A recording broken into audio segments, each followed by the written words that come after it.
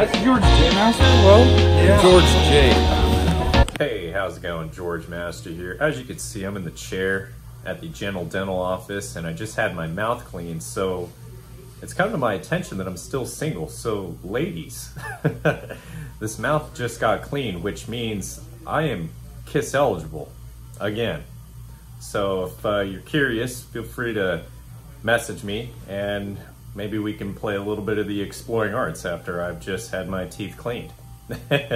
you know, I'm just kidding, right? I'm not really that open for business, but you know, if any of you are curious, the mouth has been worked on. Peace.